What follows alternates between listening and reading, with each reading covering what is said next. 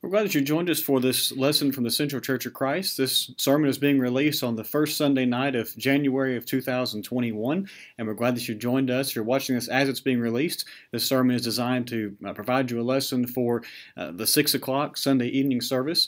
If you're watching this service, this sermon later, we're just glad that you stumbled across the video and hope this lesson encourages you as you study God's Word at any time, uh, especially as we think about this lesson uh, for our Sunday evening service here here at Central. There is a website, no, I'm not kidding, called treehugger.org, or treehugger.com, I should say. And according to that website, about 3 trillion trees currently exist. And they write that those trees are enriching habitats from old growth forests to city streets, yet despite our deep rooted reliance on trees, we tend to take them for granted. Well, after this lesson tonight, I hope we don't take them for granted, but if I may, pardon me, go out on a limb and say it's probably not for the same reason that treehugger.com says we should we, we don't we take them for granted. I hope we'll take them not take them for granted for a different reason. Instead, it's because I want to focus on a word picture that's found in the very first psalm. In fact, the picture is found right in the middle portion of that poem, and it forms, it forms sort of the, the apex of the message that the inspired writer of that poem was giving us in that six verse psalm. And so I hope you open your Bibles tonight to Psalm 1. And to set our thinking in the right direction, I want us to take a moment and read this brief poem together. It's only six verses long. Psalm 1, beginning in verse 1. Blessed is the man who walks not in the counsel of the wicked, nor stands in the way of sinners nor sits in the seat of scoffers. But his delight is in the law of the Lord, and on his law he meditates day and night. He is like a tree planted by streams of water that yields its fruit in its season, and its leaf does not wither. In all that he does, he prospers. The wicked are not so, but are like chaff that the wind drives away. Therefore, the wicked will not stand in the judgment, nor sinners in the congregation of the righteous. For the Lord knows the way of the righteous, but the way of the wicked will perish. Now, certainly, there are dozens and dozens of lessons that can be learned and preached from that very short poem, but I want us to focus on the word picture of that tree that's planted by streams of water that you'll find in the third verse of that poem. We have four points to our lesson tonight. But before we get to them, let's make sure we understand who it is that verse 3 is talking about, because this will help set the stage for where we're going in the next several minutes. The verse begins with a pronoun, he. He is like one planted by streams of water. So who is the one, who is the he, if you will, that this poem is talking about? Well, it's the one who avoids the things that are written about in verse 1, walks not in the counsel of the wicked, and, and so forth. And it is also he, the same one, who has a singular delight, and that delight is the law of the Lord. So much so that he meditates on the word of the Lord, the law of the Lord, constantly.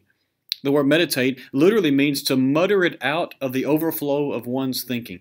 It is someone whose mind is filled with the Word of God. That's who we're talking about. Now, the verse of our interest tonight, Psalm 1, verse 3, ends by saying, In all that he does, he prospers.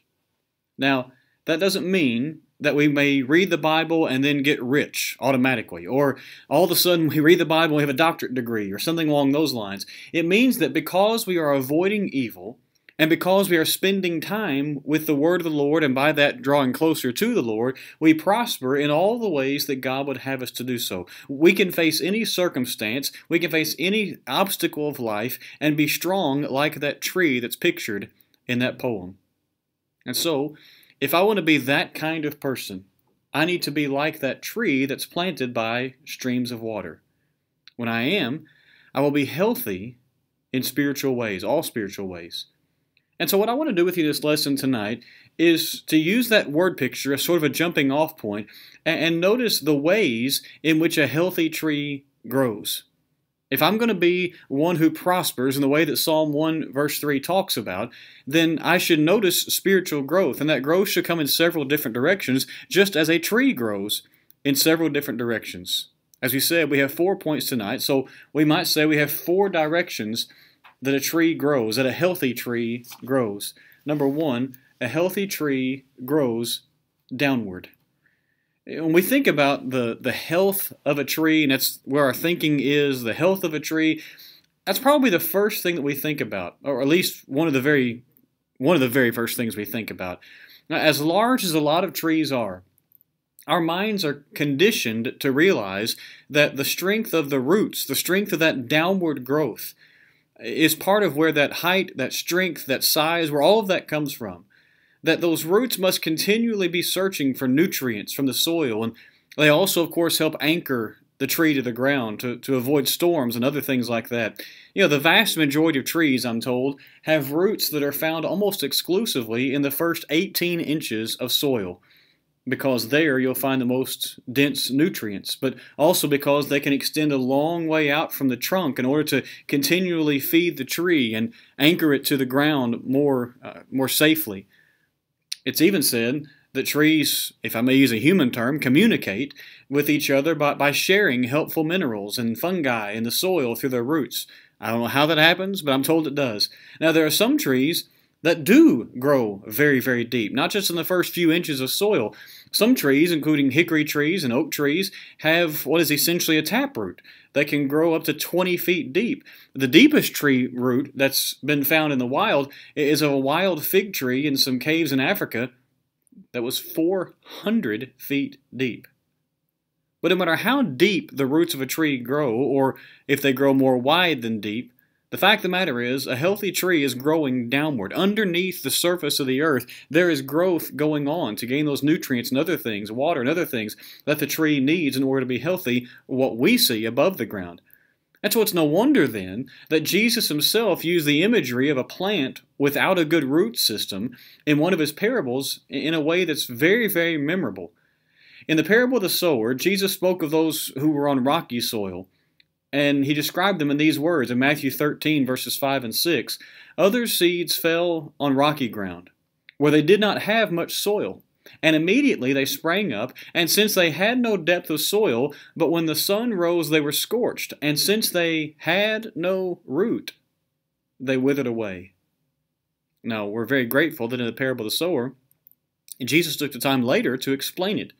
And in explaining that part of the parable in verses 20 and 21 of Matthew 13, he said this As for what was sown on rocky ground, this is the one who hears the word and immediately receives it with joy, yet he has no root in himself, but endures for a while.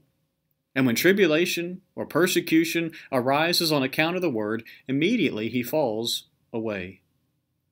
Did you notice the connection of the root in that parable with the persecution coming on account of the word. Now, again, we tie this back to Psalm 1, the poem we're considering, and we see that downward growth, uh, the growth of the roots. That's only possible if we're diving more deeply into the Word. Isn't that what the psalmist David had been talking about? Meditating on the Word of God and those sorts of things in the poem. Letting the Word of God feed our soul, letting the Word of God anchor our lives. The same way a tree has roots that do those things. That's what our, if you please, downward growth is as we try to seek to be healthy Christians. There are a lot of people who hear sermons, maybe attend Bible class, but don't really build roots in the Word of God. They, they may attend worship for the rest of their lives, but their mind's not in it. And it's because they, they've heard the arguments against the Bible, or they've been attacked by people at school or online or at work for their beliefs. And since they have no root in the Word of God, they're not strong enough to, to weather, to withstand those attacks. They may physically be present or they may not be, but spiritually, there, there's no root there. And if that's true, there's no real health there.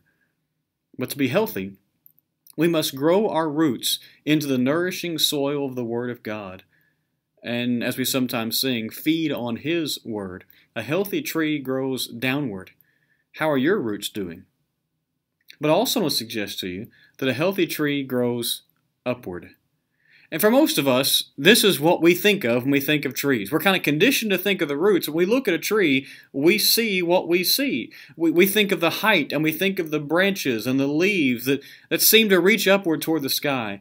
And most of the time, we see tall trees, and they're, they're, tree, they're tall, excuse me, by comparison.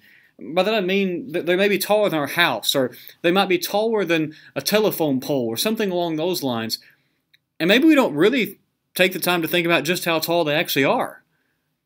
I'm told that the tallest tree in the world is a redwood tree in California that has the name Hyperion, and I'm told it stands a staggering 379 feet tall. Now, no matter what how you look at it, that's a tall tree. To put that in perspective, a very, very tall specimen of a white oak tree will only reach about 100 feet tall. Most are more like 50 or so feet tall, and this tree is 379 feet in the air. But the growth upward, no matter how tall the tree is, the growth upward is part of what makes a tree just, just look majestic.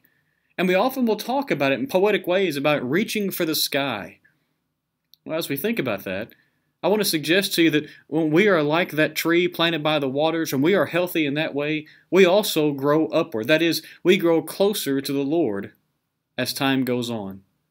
The fact of the matter is, being a Christian involves a relationship with the Almighty God. He reveals himself to us through Scripture as a Father, and we are his children.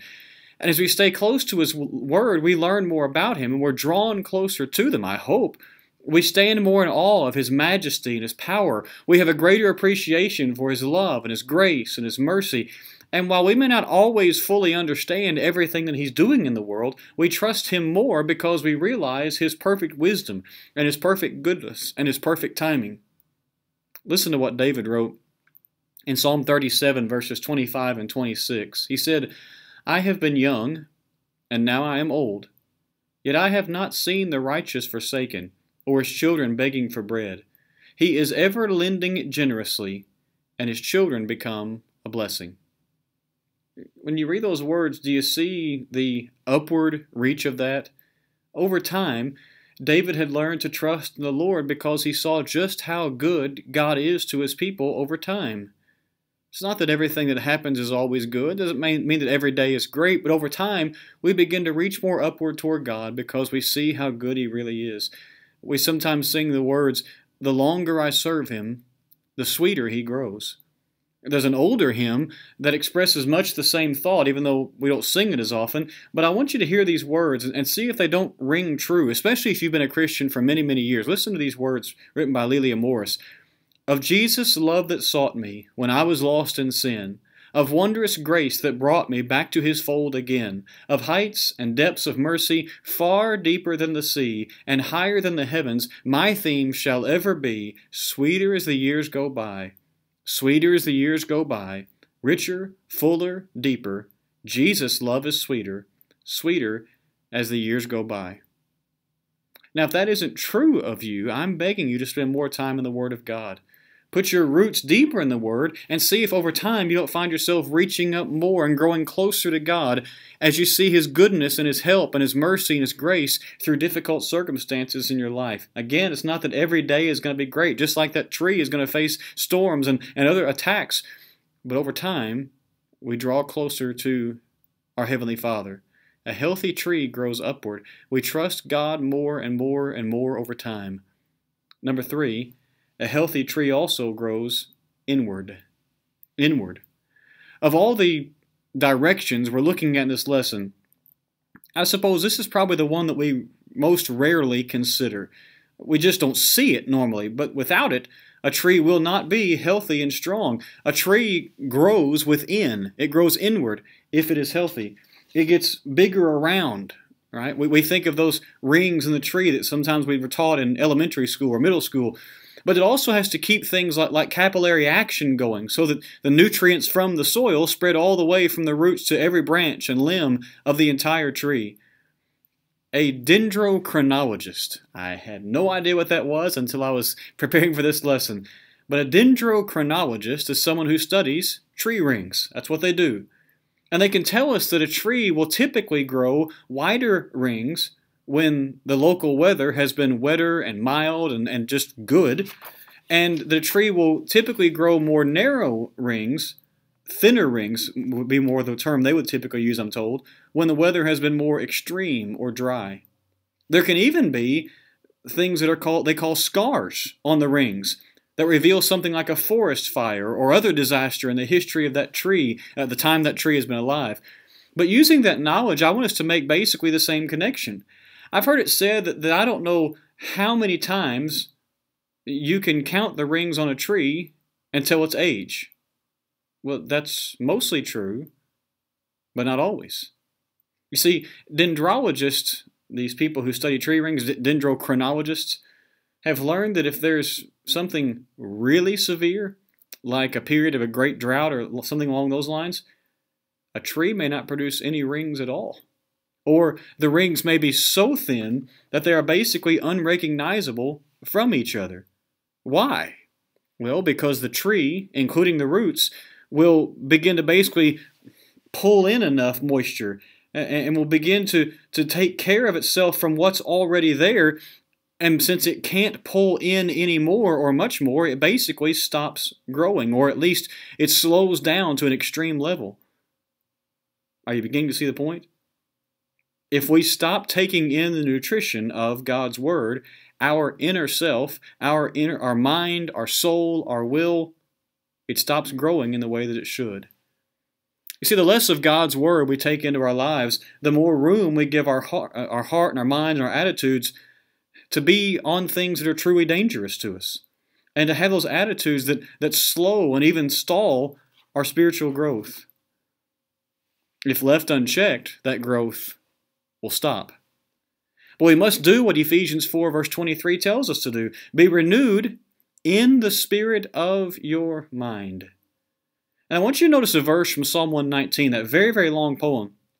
But I want you to notice a connection between the Word of God and our inner person. Psalm 119, verse 175 says, Let my soul live and praise you, and let your rules help me.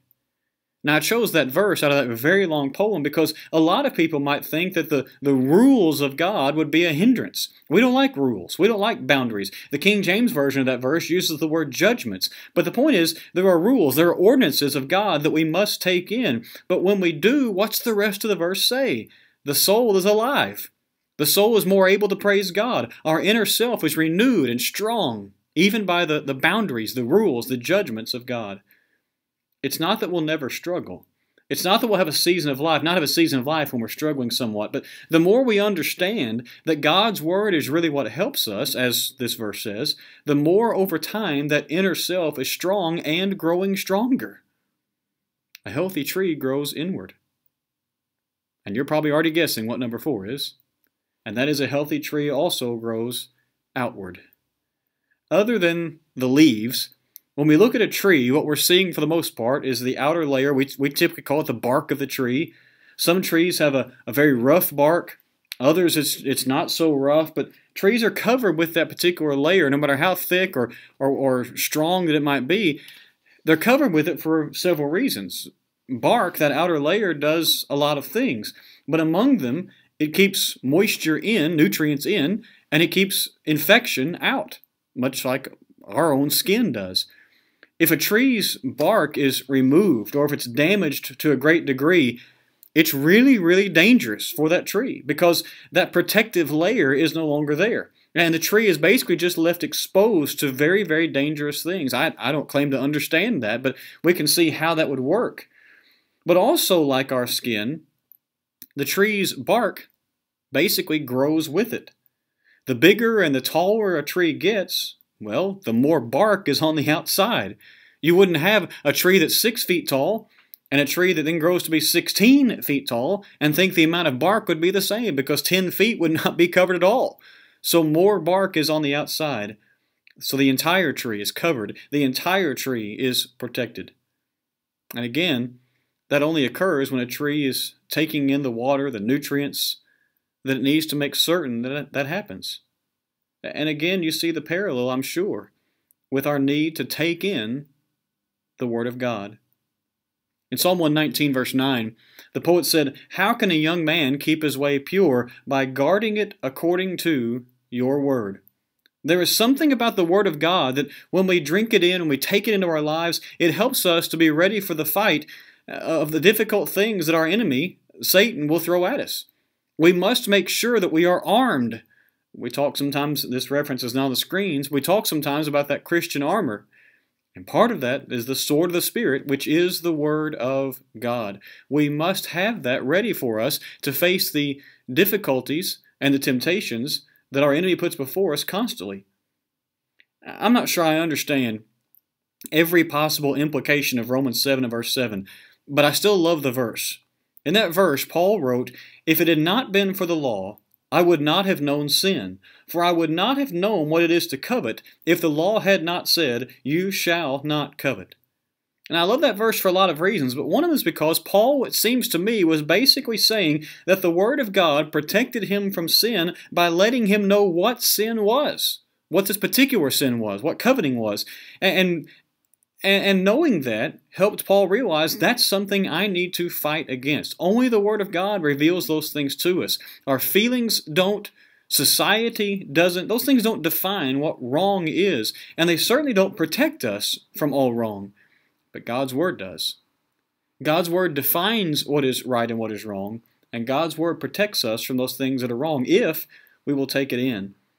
We simply will not endure the temptations that the devil puts before us if we're not protecting ourselves with the Word of God and letting it build into our lives an ability to see good and evil, to see righteousness and unrighteousness, and then how to react to each one of those things accordingly, to run to those things that are righteous, and to be protected from those things that are unrighteous. Just like the bark of a tree protects it from the infections and other things from the outside and helps keep the good on the inside, so God's Word does for us. You know, quite often we hear sermons like this one and we're reminded of the importance of being in the Bible, reading the Bible, and studying the Bible, but but maybe nothing very specific is given as far as the how. I, I don't have the time in this lesson. It's not really the focus of this lesson to say here here are 55 steps of how to study the Bible. That's a different lesson. That's a different class if you want to think of it that way. But but since we are right at the start of the year, now I give you just a couple of steps. In fact, five, so more than a couple, uh, to take in 2021 and beyond.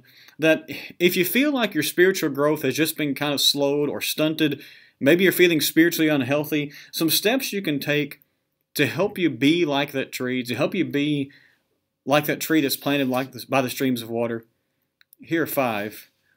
Number one, I would suggest to read through the Bible.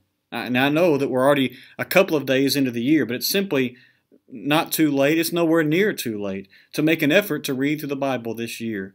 But even if you don't make that effort, if you've never read through the Bible at all, don't you, don't you think it's time you started? Even if it takes you a year and a half or two years to read through the entire Bible. Did you realize it takes something like 74 to 76 hours to read through the entire Bible? In a year, non, a non leap year, there are 8,760 hours. And all we need is about 75 of them. We have the other 8,700 and, and, and what, five to ourselves. Can we not find those few hours to say, I've read through all of God's Word? And even if it takes a year and a half or two years, if I want to make sure that I'm planted by streams of water, then I need to drink in all that God has to say. And it's not to say that I'll understand everything about every verse in every chapter the first time I read through it, but at least then I can say I've taken in all of it. Now I have a foundation from which I can begin. Suggestion number two, as you see on the screens, is to keep a Bible notebook. And by, by that, I really just mean to keep some kind of list of things that you want to study further or things you don't understand, questions that you have. When What do you do when you hear something in a sermon or a class that you want to remember? What do you do when you have a question in a Bible class and and you, and it's just not answered at the moment, or one you just think of during the week, but you don't have time right then to, to drop what you're doing and study. Having some way to record those thoughts, those questions, those those reminders, those life lessons can mean so much. It may, maybe for you it's a file on your phone, your computer, where you simply write those down. Maybe it's simply a notebook, but something to record those seemingly random thoughts will make so much of a difference then as you strive to organize your study. What do I want to study in God's Word? Well, here are a couple of questions I've had for a long time that I've got written down.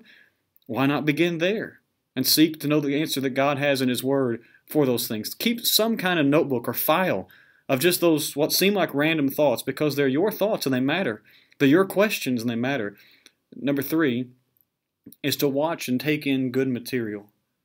I, would just be shameless for a moment and say if, if you uh, don't subscribe to Central's Facebook or YouTube page, you're, you're missing out with, with margin notes. And we are really trying to uh, make those better. And y'all, I hope you'll see that beginning uh, even this Thursday, this coming Thursday, as this is being released, with the first margin notes of 2021. But find good materials. Maybe you're a visual person. World Video Bible School has hundreds and hundreds of videos on particular books of the Bible, particular topics, all online for free. We from Central release devotionals and, and Bible lessons, and so many other churches do as well. Watch those materials. If you're a member at Central, keep in mind that we have a congregational license to Polish the Pulpit 365, so you can watch those lessons anytime you want. And there are hundreds and hundreds of lessons by faithful gospel preachers and teachers that you can just watch or have on in the background while you're working around the house or doing other things so that you're taking in God's Word and deepening your knowledge as you're able. Number four, again, as you see on the screens, take part in Bible classes. And, I know right now that's not as easy with some people not being able to get out and be in person, but we stream our classes, our adult classes. You can watch those. But whether whether it's virtual or in person, make Bible class a priority. I will tell you, and not just because I'm one of them, because I sit in other classes as well. Our teachers here at Central know the book. And they seek to make the lessons biblical, yes, but also very practical. And, and, and almost any time I listen to a class, I'm, I'm, something's triggering my mind that I want to study further and, and know better. The more that you're not only present, but you're truly listening and taking notes or, or doing whatever you need to do to, to take part, the more you'll have something to study on your own time. But I also suggest to people and you take part in Bible classes as a way to guide your own study. A lot of people say, I, I know I need to study the Bible. Where do I start? Well, why not start right with what you're studying in your Bible class? On Wednesday nights, right now, we're studying Hebrews. Why not go back and study those verses again that we talked about the week before and see if you can't deepen your knowledge? Use that as a guide. What a great way to just begin your own study by using those things. For our ladies, our ladies' Bible class is scheduled to restart on Tuesday afternoons. What a great way to study God's Word. And then, five, I would suggest that you resolve to teach someone else. It sounds cliche, but it's simply true. You just do not learn anything as much as you learn it because you're trying to teach it. In other words, the teacher has more knowledge than they let out in any lesson. They, have taken in extra study materials. They've taken, they've tried to anticipate questions someone might ask, and they have studied a great deal. If you want to know the Bible, make a resolution to have a Bible study with a non-Christian, with an erring Christian, sometime this year.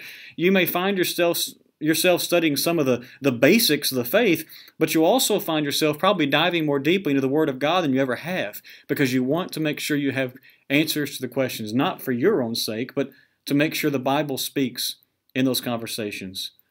So make sure you do something because we must make sure that we're like that tree planted by streams of water, and all that we do when that happens will prosper. When we take in God's Word constantly, when we're devoted to the reading and the studying of it, and we're seeking to understand, praying for wisdom, and trying to help others understand, then from God's viewpoint, everything that we do prospers. We may not be rich, we may not be famous, we may even have poor health, but from God's point of view, we're prospering because we're like a tree that's planted by streams of water. We are growing downward, we are growing upward, we are growing inward, and we're growing outward. How's your spiritual growth? If this lesson tonight or anything else you've seen on our Facebook or YouTube channel has prompted questions, you can leave those as a comment, or if you don't want to leave them in public, use the uh, social media channels to to contact us or uh, find our contact information and call or write us. We would love to speak with you more, study with you more. As we say many times, not to just tell you what we think, but to make sure we're teaching what the Bible says, because that's what we want to teach only, is what God says through His Word. I want to thank you for watching tonight. Let's take a moment to pray together, and then this lesson will end, and we pray that you'll have a good week. Let's pray together. Father in heaven, thank you for your word. Thank you for being gracious to give it to us. Thank you for being one who encourages us to, uh, to study, but also gives us a book that while some things in it are basic and easy, we're going to spend our lifetime trying to understand other things from it. Help us to mine for the treasures that you have placed in it and be encouraged every day to grow more deeply uh, in a knowledge of your word and in the application of your word. Help us to be doers and not hearers only. Help us to be faithful. In Jesus' name, amen.